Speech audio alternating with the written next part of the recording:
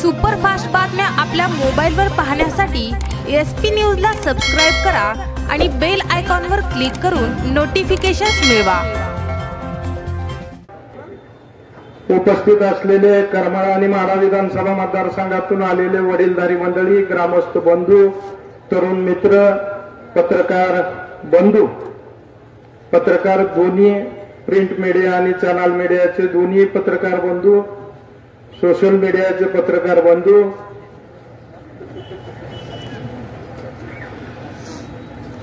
आज उद्याच्या होणाऱ्या एकवीस तारखेच्या निवडणूक निवडणुकीच्या कार्यक्रमामधल्या जगताप आणि शिंदे गटाच्या युतीच्या मेळाव्याच्या निमित्त आपण सर्वजण मोठ्या संख्येनं या ठिकाणी उत्साहाच्या वातावरणामध्ये उपस्थित झाला. या दोन्ही गटाला आपण या ठिकाणी उपस्थित राहून प्रोत्साहन दिलं. त्याबद्दल या निवडणुकीचा उमेदवार या नात्यानं आपल्या सगळ्यांचं मनपूर्वक प्रथमतः स्वागत करतो.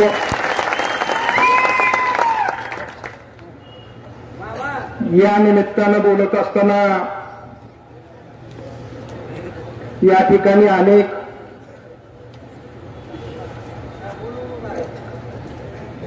आदरणीय जेवण नवनी उद्याच्या निवडणुकीमध्ये पाठिंबा देत असताना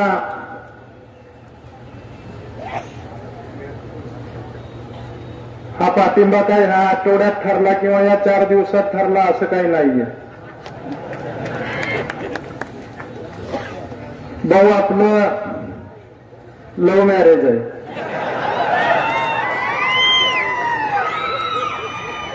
आणि त्याची सुरुवात खऱ्या अर्थानं झाली मार्केट कमिटीच्या निवडणुकीमध्ये. मी यासाठी लव्ह मॅरेज म्हणलं अरेंज मॅरेज असलं की देण्या घेण्याचा विषय येतो. आणि मग लव्ह मॅरेज असलं की मग तिथं कुठल्याही गोष्टीचा काही संबंध नसतो प्रेमापोटी अशा प्रकारचं प्रकारच्या घटना होत असतील. आणि त्याची सुरुवात खऱ्या अर्थानं भाऊवरती ज्या दिवशी मार्केट कमिटीच्या निवडणुकीमध्ये अन्याय झाला. आणि त्या दिवशी खऱ्या अर्थाने जी सुरुवात झाली. दोन हजार चौदाच्या विधानसभेच्या निवडणुकीमध्ये मी करमाळा तालुक्यामध्ये उमेदवार या नात्यानं आपल्यासमोर आल्यानंतर पहिल्यांदाच करमाळा तालुक्यामध्ये मी येत होतो. मला गावं माहीत नव्हती. नियोजनाच्या माझ्या टीम कडनं ज्यावेळेस गाव यायचं त्यावेळेस मी ड्रायव्हरला आणि बरोबरच्या माणसाला विचारायचो जायचं कसं? ती म्हणायचं नकाशावर बघतोय. आणि मग नकाशावरती बघायचं गावात गेल्यानंतर दोन पाच दहा माणसं काय पुढे आलेली असली तर त्यातला एकही ओळखीचा नसायचा. या अशा परिस्थितीमध्ये दोन हजार चौदाची निवडणूक मी त्या ठिकाणावरून लढवली.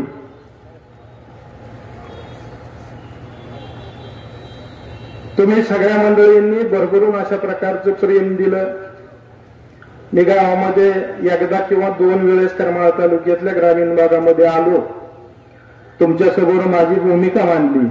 आणि तुम्ही मताच्या रूपाने काही एखाद्या गावामध्ये दहा मतं दिली असतील.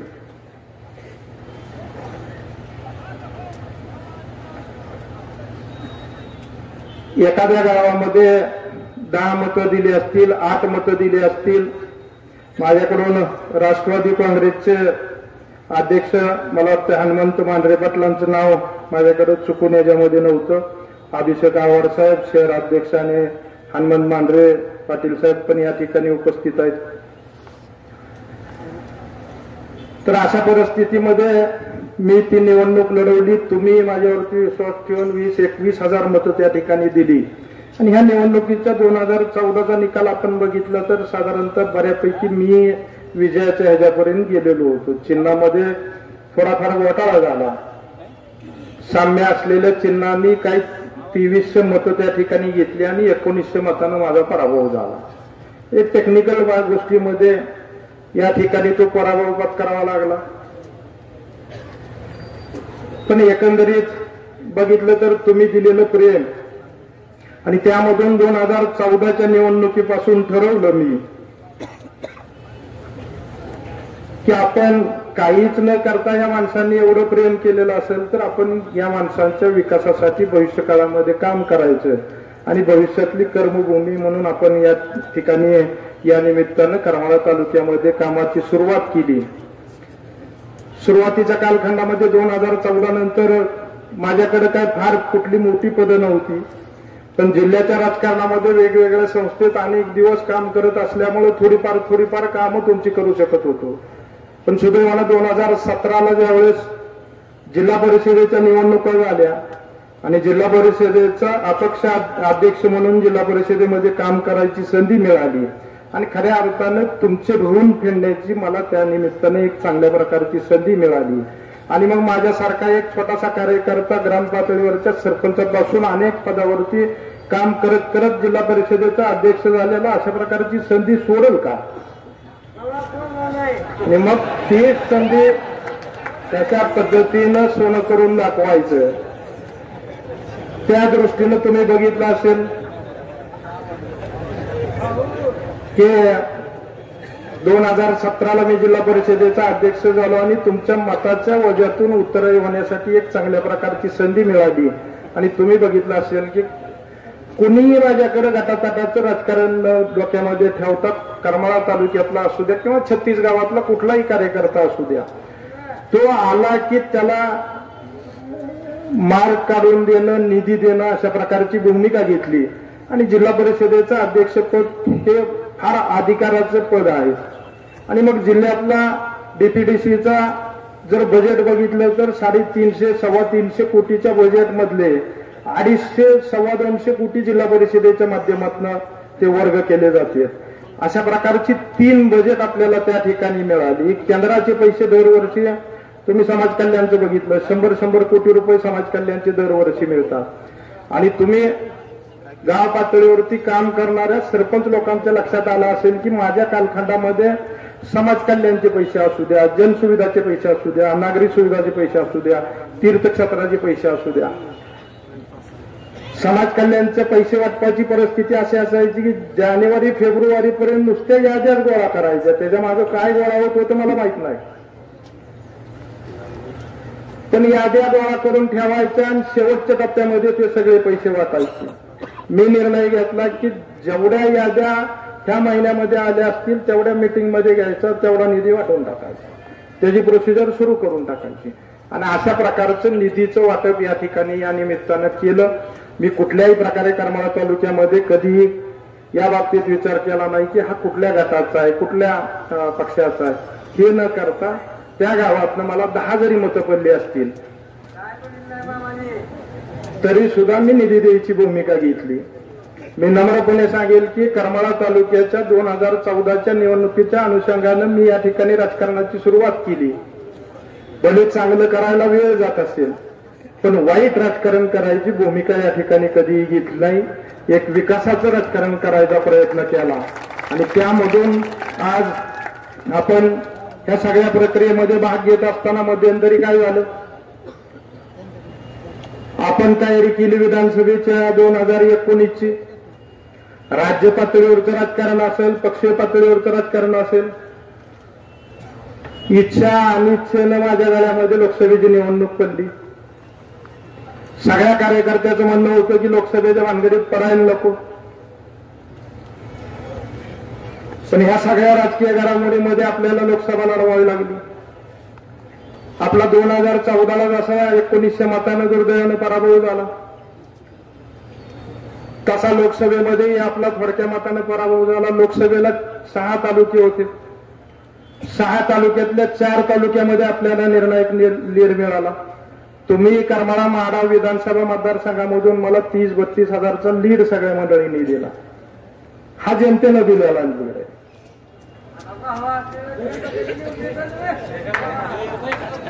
आणि चार तालुक्यानं लीड देत असताना एकाच तालुक्यानं अशा प्रकारची भूमिका घेतली माळशिरस तालुक्यानं आणि प्रचंड प्रमाणामध्ये आपल्यामध्ये आपल्यावरती विरोधातला लीड टाकला. आणि तिथं खऱ्या अर्थानं आपला पराभव झाला. म्हणजे सहा तालुक्याचा मतदारसंघ असताना सुद्धा चार तालुक्यामध्ये अतिशय चांगल्या पद्धतीनं तुम्ही सगळ्यांनी सहकार्य केलं. आता लोकसभेला पराभव झाला. लोकसभेला पराभव झाल्यानंतर तुम्ही बघितलं असेल की करमाळा तालुक्यातल्या राजकारणाची परिस्थिती अशी होती. करमाळा तालुक्यामध्ये चार गट होते. आदरणीय भाऊचा एक होता. विद्यमान आमदारांचा एक होता. बागलांचा एक गट होता. आणि शिंदे गट म्हणून आपण नव्यानं दोन हजार चौदा मध्ये थोडाफार काम करून नवीन गटाची निर्मिती केलेली होती. आता तुम्ही बघितलं असेल की जसं या ठिकाणी काम करायला सुरुवात केली तसे तसे विलासदादा असतील. चंदूकाका काका दत्ताभाऊ जाधव असे वेगवेगळ्या गटातनं काही मंडळी आली. सुरुवातीलाच माझ्याबरोबर गोळे होते. सावन कंपनीनं सुरुवातीला मला साथ दिली. वामनदादा होते. आपले जोळबापू होते. असे अनेक कार्यकर्ते दोन हजार चौदा ते एकोणीसच्या मध्ये अनेक जणांनी त्या ठिकाणी मला मदत केलेली होती. आता लोकसभेच्या निवडणुकीमध्ये पराभव झाला. हिथलं राजकारण बघितलं तर बागल गटाने मला पाठिंबा दिलेला होता लोकसभेला. आता लोकसभेला त्यांचा पाठिंबा घेतला त्यांची मतं घेतली म्हणल्यानंतर मी माझं नैतिक कर्तव्य समजलं की बाबा आता आपण कधी एखाद्या गटाची मतं घेतलेली असताना नुकतीच घेतले तर त्याच पक्षातनं पुन्हा त्यांना विरोध करणं हे मला स्वतःला नैतिक दृष्ट्या बरोबर वाटलं नाही म्हणून मी जाहीरपणे सांगेल की मी कुठंही गाव भेटीला तुमच्या आलो नाही. अनेक कार्यकर्त्यांनी माझ्यावरती शेवटी शेवटी आमचे कार्यकर्ते शिंदे गटाचे कार्यकर्ते अनेक जण मला मला शेवटच्या टोकाला जाऊन बोलले. आम्ही आत्महत्या करीन म्हणले तुमच्या घरापुढे येऊन आम्ही उपोषण करीन म्हणले. तरी सुद्धा मी कुठल्याही गटाची मिटिंग घेतली नाही कुठला गाव दौरा असला नाही. त्याचं कारण असं होतं की बागल गटांनी केलेल्या उपकाराची फेड आपण अपकाराने करायची नाही. तुम्ही बघितलं असेल पुढे जाऊन राजकारण घडलं. महाराष्ट्रात पहिल्यांदाच विधानसभेच्या अनुषंगानं अशा प्रकारचं राजकारण मी बघतोय. माझ्यापेक्षा बहु जास्त अनुभव आहे. बहुनाही कळत असेल की आतापर्यंत महाराष्ट्रामध्ये अशा प्रकारच्या विधानसभा कधी झाल्या नाहीत. म्हणजे विधानसभेचा प्रोग्राम सुरू झाला तरी सुद्धा पक्षाच्या युत्या वगैरे फायनल नाही उमेदवार फायनल नाही सकाळी एका पक्षातली उमेदवारी डिक्लेअर होते आणि संध्याकाळी उमेदवार दुसऱ्या पक्षात जातोय. म्हणजे हे असंदिग्धतेचं वातावरण कधीही आपल्याला महाराष्ट्रामध्ये माझ्या राजकारणाच्या इतिहासात आणि मलाही वाटतंय की बहुच्या सुद्धा कधी बघण्यात आलेलं नसेल अशा प्रकारचं राजकारण. भाऊच्या कालखंडातलं राजकारण तर फार पूर्वीपासून वर्ष वर्ष विधानसभेचा उमेदवार आधी घोषित व्हायचा. आणि तिथून प्रोग्राम सुरू व्हायचे. आणि मग त्या ठिकाणी प्रक्रिया सुरू व्हायची. पण ह्या सगळ्या अशा प्रकारच्या संदिग्ध वातावरणामध्ये बागल केला शिवसेनेमध्ये प्रवेश. आता ह्या सगळ्या कार्यकर्त्यांना मी सांगायचो की माझी अडचण अशी आहे की बागल गटाने मदत केलेली असताना मी तिथं त्याच ठिकाणी राहून विरोध करणं मला स्वतःला उचित वाटत नाही. अशा प्रकारच्या मी सूचना किंवा माझा निरोप भेटून वरिष्ठ नेत्यांनाही सांगितलं होतं. की एकमेकाच्या गटांनी एकमेकाला मदत केल्यानंतर जर गटाच्या माध्यमातून निवडणुका लढवायच्या असतील दोन गट एकत्र करून निवडणुका लढवायच्या असतील तर दोघांपैकी कुठलाही उमेदवार फायनल केला तरी चालतोय. बागलाला उमेदवारी दिली तरी मी तुम्हाला त्यांना मदत करायला तयार आहे. त्यांनी मला दिली तर पक्षानं मला दिली तर त्यांनी करायची तयारी दर्शवावी. अशा प्रकारचं मी विनंती वाजा नेते मंडळीला भेटून सांगितलं. पण काय झालं की राष्ट्रवादीवरती निवडून येत नाही अशा प्रकारची भावना तयार झालेली दिसली. आणि त्यांनी प्रवेश केला शिवसेनेमध्ये प्रवेश केला. आता सगळ्या कार्यकर्त्यांनी मला सांगितलं की आता तुमची अडचण संपलेली आता तुम्ही नाही म्हणायचं नाही मग तिथून आमच्या विधानसभेच्या चर्चेला सुरुवात झाली. भावनाही मी गेल्या सहा मार्केट कमिटीच्या निवडणुकीपासून सातत्यानं म्हणत होतो. लोकसभेच्या निवडणुका झाल्यावरही भाऊला मी म्हणत होतो भाऊ तुम्ही उभं राहा तुम्हाला मदत करतो. म्हणत होतो का नव्हतं भाऊ? कारण माझ्या पुढची तुम्ही राष्ट्रवादीतनं उभं राहा तुम्हाला मदत करतो मी राष्ट्रवादीतून लोकसभा लढवलेली. या अशा प्रकारची स्पष्टपणे मी भूमिका घेऊन या ठिकाणी राजकारण करतो. पदासाठी म्हणून राजकारण करणाऱ्यापैकी मी नाही. या सगळ्या गोष्टीचा विचार केला. सगळ्या ने- कार्यकर्त्यांनी नेते मंडळींनी सांगितलं की मामा तुमची अडचण संपली आता तुम्ही निवडणूक लढवायला हरकत नाही. मग अनेक जणांशी चर्चा करत होतो. राज्य पातळीवरचं वातावरण वेगवेगळं होतं. कार्यकर्त्यामध्ये वेगवेगळी मतमतांतर होती. एक कार्यकर्ता म्हणायचा राष्ट्रवादीवरती उभं राहावं. दुसरे चार म्हणायचे भाजपवरती उभं राहावं. चौथे चार म्हणायचे शिवसेनेवरती उभं राहावं. ह्या सगळ्या गोंधळामुळे मध्ये निवडणुकीचा प्रोग्राम सुरू झाला. मला वाटतं एकोणतीस का एक ते चार तारीख फॉर्म भरायची होती. आणि मग तीन तारखेला बऱ्यापैकी सगळ्या नेते मंडळीशी बहुंशी माझी चर्चा झाली. भाऊ म्हणले मामा ह्या भानगडीत न पडण्यापेक्षा आता तुम्ही अपक्ष फॉर्म भरा म्हणले आम्ही सगळे तुमच्या बरोबर येतो. आणि मग आपण तीन तारखेला मेळावा घेतला आणि चार तारखेला अपक्ष म्हणून या ठिकाणी फॉर्म भरला.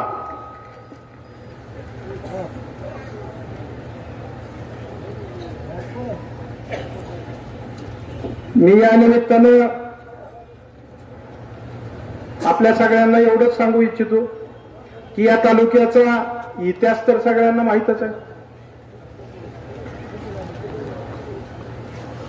या तालुक्याच्या विकासासाठी म्हणून ह्या सगळ्या विधानसभेच्या निवडणुकीच्या प्रक्रियेमध्ये या ठिकाणी मी पडलो. मी एवढंच सांगेन की करमाळा तालुक्याचं भविष्य घडवण्यासाठी म्हणून मी ही विधानसभेची निवडणूक लढवतोय. आणि त्यामध्ये उद्या तुम्ही आपलं बहुमल अशा प्रकारचं ज्यावेळेस मत द्याल त्याच्यामध्ये कुठंही कमी पडणार नाही हेही मी या निमित्तानं नम्रपणे आपल्याला सांगू इच्छितो. या निमित्तानं बोलत असताना तालुक्यातले अनेक प्रश्न आहेत. मी तालुक्यामध्ये पाहत पाहतो. कोकडीचं पाणी असेल आदरणीय भाऊ माझ्यापेक्षा सिनियर आहेत. ह्यातल्या बऱ्याचशा योजना कैलासवासी नामदेवराव साहेबांच्या काल कालखंडामधल्या आहेत. भाऊच्या कालखंड कालखंडामधल्या काय आहेत. पण त्या बऱ्याच दिवसापासून मी पाहतोय. कोकडीच्या कॅनॉलचा विषय असेल कुकडीच्या पाण्याचा संदर्भ असेल अधिकृत पाणी मिळण्याच्या संदर्भातले विषय असतील. अधिकृतपणे सात पासष्ट हजार एकराचं कुकडीचं पाणी आहे पण ते कधी हक्कानं आपल्याला करमाळा तालुक्याला मिळत नाही. त्याचं नियोजन व्यवस्थितपणे केलं जात नाही. मांगीसारख्या तलावामध्ये कुकडीच्या पाण्याचं कधी येतं कधी नाही अशा प्रकारची कायमची ओरड असते. दहीगाव उपसा सिंचन असेल आमची सिनावाडा उपसा सिंचन योजना असेल एकाच वेळेचे सगळे एका बजेट मधल्या स्कीम आहेत. आज सिनामाडा योजना चालती त्याला दोन हजार तीन ते आज दोन हजार एकोणीस जवळजवळ सोळा सतरा वर्षाचा कालखंड त्या ठिकाणी झाला. व्यवस्थितपणे त्या ठिकाणी शिंदे कुटुंबियाच्या वतीनं ती चालवली जाते. आदरणीय आमचे नेते दादा त्या तालुक्याचे दोन्ही पाण्याचे विषय आणि करमाळा तालुक्याचे पाण्याचे विषय दोघांचेही पंच्याण्णवच्या आमदारकीमध्ये आहेत. मी या निमित्तानं अनेक ठिकाणी म्हणतो की पंच्याण्णवच्या विधानसभेच्या निवडणुकीमध्ये तिकडं आदरणीय दादा अपक्ष तिकडं कैलासवासी दिगंबर मामा अपक्ष तिकडं सोपल साहेब अपक्ष अशा प्रकारची तिघ चौघ जण अपक्ष आमदार तुम्ही सगळ्या जनतेनं सोलापूर जिल्ह्यातल्या निवडून दिली. म्हणून खऱ्या अर्थाने हे सगळं पाणी मिळालं. मी या निमित्तानं आज अपक्षच उभारलो. त्यामुळे मी एवढंच तुम्हाला आश्वासित करेन की भविष्य काळामध्ये ह्या सगळ्या प्रश्नाची सोडवणूक करण्यासाठी मी अपक्ष असल्यामुळे उद्या सत्ता कुणाची येऊ. त्या ठिकाणी ह्या प्रश्नाची सोडवणूक करण्यासाठी जीवाचं रान करेल एवढंच आपल्याला या निमित्तानं बॅकवॉटरला फिरत असताना पाहतो अनेक प्रश्न आहेत. बॅकवॉटरचे प्रश्न आहेत. तालुक्यामध्ये दोनशे वीस सबस्टेशनची गरज आहे बॅकवॉटरला. छोटे छोटे सबस्टेशन असतील. शिक्षणा बाबतीतले विषय असतील. उद्योग व्यवसायाच्या दृष्टीनं मी दोन हजार चौदाच्या निवडणुकीमध्ये म्हणलं होतं की मला या ठिकाणी काम करायची संधी द्या. मी या ठिकाणी उद्योगाच्या अनुषंगानं सूत व्यवसायामधलं काय करता येतंय का बाब पाहतो. दुर्दैवानं सरकार बदललं सरकारची धोरणं बदलली.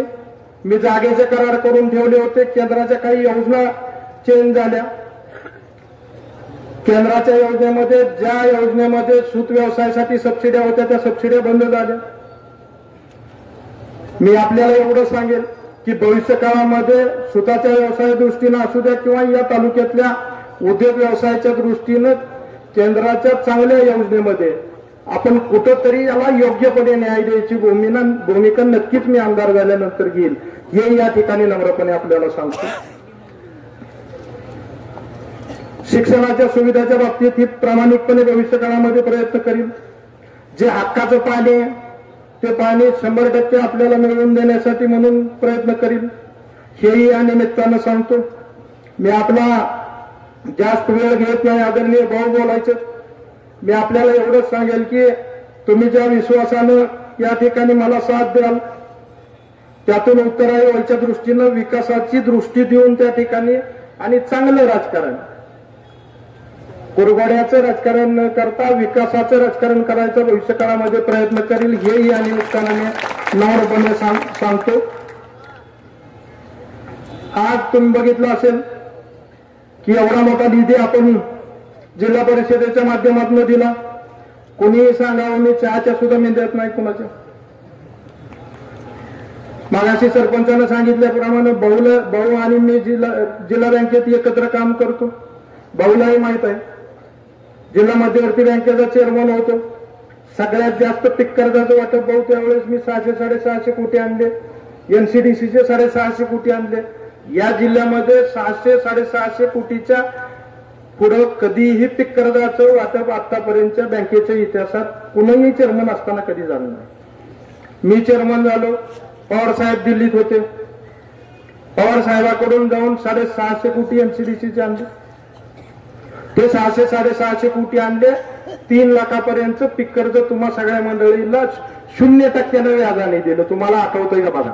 लोक सोसायटीचे तीन लाख रुपये काढून दुसऱ्या शाखेमध्ये डिपॉझिट करून ठेवत होती. बिनव्याजीच भाऊ माझ्यापेक्षा सिनियर आहेत त्यांना माहीत आहे.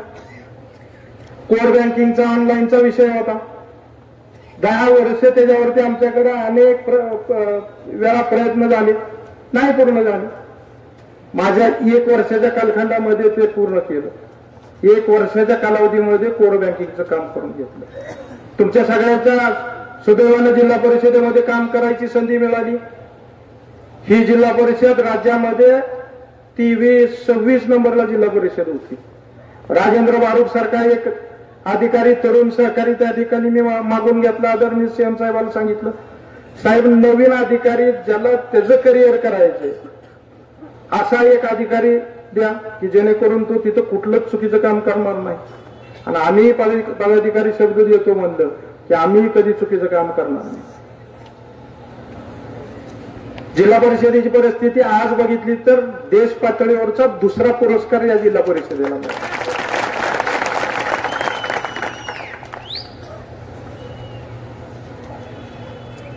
अधिकाऱ्याला बारूक साहेबाला मोठी गाडी नव्हती. ते तरुण होते. सगळ्या जिल्ह्यामध्ये त्यांना मी सांगायचो दौरे करा. मी सोमवार गुरुवार असलो तरच फक्त ऑफिसला थांबायचं. इतर वेळेत जास्तीत जास्त तुम्हाला दौरे करायचे तर करा. किंवा म्हणजे गाडी लहान आहे माझी. कार टाईप गाडी आहे. माझी स्वतःची गाडी मी वापरली नाही अध्यक्षाची. त्यांना दिली. मला पक्का मिळाला. तो भत्ता सुद्धा तुम्ही बघितला असेल मध्यंतरी की जेवढा मला दोन वर्षाच्या कालावधीमध्ये सहा लाख रुपये भत्ता मिळाला. तो सहा लाख रुपये भत्ता स्वतःचे पाच लाख रुपये करून अकरा लाख रुपये मी पूरग्रस्तांना देऊन टाकतो. हे दाखवायलासाठी नुसतं करतोय असं नाही. ज्या ज्या संस्थेमध्ये काम करतो त्या त्या संस्थेमध्ये पारदर्शकपणे काम करतो. जसं प्रहारच्या अध्यक्षांनी सांगितलं म्हणजे एकदा ही स्टेजवरती जर येऊन तुम्हाला येड्यात काढते आणि पुन्हा हेच अध्यक्ष येऊन सांगतात की हे चांगलं काम करते. म्हणजे दिशाभूल कोणाची होती सांगा बरं मला. म्हणजे ह्या सगळ्या राजकारणातल्या गोष्टी किती प्रत्यक्षातल्या किती विश्वास ठेवायचा? ह्या सगळ्या गोष्टीकडे पहा. मला दोन हजार चौदाला आल्यानंतर म्हणायचे आता ही बाबा परत येणार नाही. तुम्ही बघितलं असेल दोन हजार चौदा पासून मला वेळ होता. मी तुमच्या सुखदुःखामध्ये सहभागी व्हायचो. दिवस दिवस फिरायचो माझ्यावरती आरोप झाले गुंडगिरी करतो. तुम्ही माझं वागणं बघितलं असेल. आता मी गुंडगिरी करत असतो तर मला दहा पाच जण तर संघ घेऊन फिरावं लागलं असतं का नसतं सांगा? माझ्या सगळे एक जण असतो ती गुरुजी म्हणणार त्याला एक लावली तर त्याला चालायला यायचं तिघाशिवाय तिघाशिवाय गाडीत कुणी तुम्हाला दिसलं कधी? मग आता स्वतःला जर गुंडगिरी करायची असली तर एकट्याला मोकळ्या मनाने फिरता येईल का सांगा बरं? त्याला दहा बॉडीगार्ड हे ते घेऊनच फिरावं लागेल की. शेवटी तुम्ही वाईट वागत असलं तर जनताही तुम्हाला सोडणार आहे का मला सांगा? तुम्ही मला कधी असं बघितलं फिरताना? ह्याही गोष्टीचा विचार करा तुम्ही. मी मोठमोठ्या पदावरती आता जिल्हा परिषदेचा अध्यक्ष होतो. मला एक कॉन्स्टेबल घेऊन फिरायला येत नव्हतं.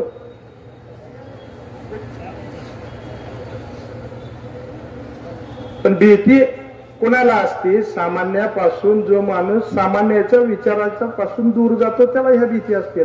मी तुमच्यातलाच असल्यामुळे मला काय भीतीचं कारण नाही. मी कुठेही बसू शकतो कुठेही उठू शकतो. त्याचं कारण आहे की मी तुमच्यात सामान्य माणसाप्रमाणे वावरू शकतो. आणि माझी कृती सामान्य माणसाला पचल अशा पद्धतीनं करू शकतो. त्यामुळं हे सगळं शक्य होऊ शकतं. तेही गेल्या दोन हजार चौदाच्या पाच वर्षाच्या कालावधीमध्ये तुम्ही बघितलं असेल. याही गोष्टीचा तुम्ही शहाणपणे विचार केला पाहिजे. गेल्या वेळेस म्हणायचे पाणी पळवल. आता उजनीचं पाणी त्या बोगद्याची साईज ठरली. मी राजकारणात यायच्या अगोदर त्याचं वाटप झालंय. त्याच्या बाहेर तर तुम्ही जाऊन का पाणी सोडू शकणार नाही? त्याच्या साईजेस ठरलेले पण याही गोष्टीचा या निमित्तानं विचार करा. मी आपल्याला एवढंच सांगेल की इथल्या मतदारसंघाचं प्रतिनिधित्व करत असताना या मतदारसंघाचा जो जो हक्क आहे त्या हक्कासाठी प्रामाणिकपणे इमानदारीनं त्या ठिकाणी लढत देईल. एवढंच आपल्याला या निमित्तानं सांगतो. या ठिकाणी आज आदरणीय भाऊंनी त्यांच्या गटाचा पाठिंबा दिला. करमाळा तालुक्यातलं राजकारण आपल्या सगळ्यांना माहीत आहे. मलाही आता थोडं थोडं कळायला लागलंय.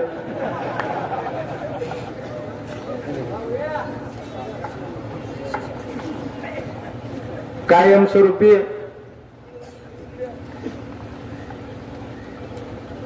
अफवावरती चालणारं राजकारण जास्त चालतं त्यामुळं भाऊची आपली युती आहे म्हणून माझी नम्र विनंती राहील की कार्यकर्त्यांनी अजिबात गहाळ बसू नका.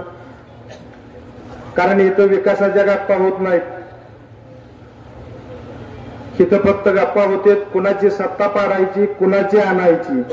आणि ती आणत असताना मग सेटलमेंट कशा करायच्या कुणाशी करायच्या? ह्या सगळ्या गोष्टीचा विचार या निमित्तानं आपण करा. गहाळ राहू नका.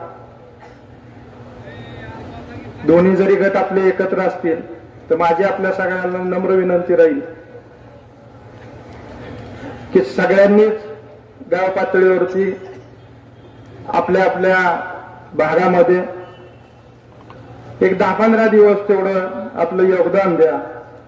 त्याची उत्तरे अतिशय चांगल्या पद्धतीनं विकासाच्या दृष्टीनं चांगल्या राजकारणाच्या दिशेच्या दृष्टीनं भविष्य काळात करील एवढंच आपल्याला या निमित्तानं नम्रपणे सांगतो भाऊंनी दिलेला पाठिंबा त्याबद्दल मनपूर्वक भाऊंचं या ठिकाणी आभार व्यक्त करतो. राष्ट्रवादी पक्षाच्या नेते मंडळींचे या ठिकाणी आभार व्यक्त करतो. वेगवेगळ्या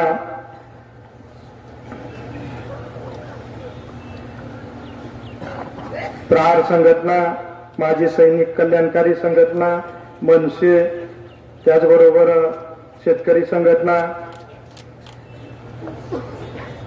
महाराष्ट्र बहुजन वंचित आघाडी. रामकृष्ण माने सर त्याचे त्यांचेही या ठिकाणी आभार व्यक्त करतो.